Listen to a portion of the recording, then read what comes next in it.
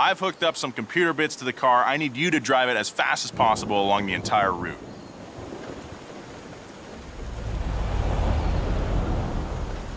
So, shall we put this horsey boy to the test? Let's do this! So this was probably the best Fox body Mustang. All Mustangs are good, but this one came with a 5-speed manual that made it ideal for modification, as well as a 302 cubic inch 5-liter V8 engine. Until people like us started talking about them on the internet, you could get them for cheap. So, thanks, internet. Telemetry is good. Keep going. Another set of corners ahead. Looking good.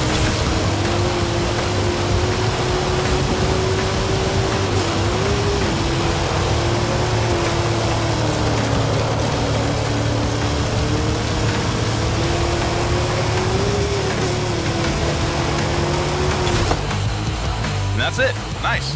You've got good average speeds and handling, but I think we need a time trial of this car. Oh, for sure. I think I know a place. I'll call you.